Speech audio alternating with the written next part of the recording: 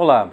A fuga para o Brasil do senador boliviano Roger Pinto Molina, que estava havia mais de um ano na Embaixada Brasileira em La Paz, é o principal tema da edição internacional desta semana da Agência Senado. Essa edição circula cada sexta-feira nas línguas inglesa e espanhola.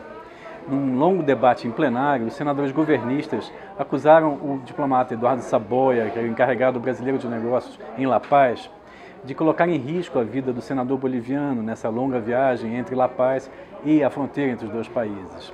Por sua vez, os senadores de oposição criticaram a política externa brasileira e disseram que, na verdade, Saboia tinha agido com muita coragem. Do lado brasileiro da fronteira, esperava o senador boliviano o presidente da Comissão de Relações Exteriores e Defesa Nacional, o senador Ricardo Ferraz. Ele disse que Molina correria risco de vida se permanecesse na Embaixada Brasileira em La Paz, até por uma tentativa de suicídio ou, quem sabe, por um infarto. Um outro destaque dessa semana é o debate que aconteceu em plenário sobre a reforma política, com a presença da ministra Carmen Lúcia, presidente do Tribunal Superior Eleitoral. Eu espero que você tenha uma boa leitura.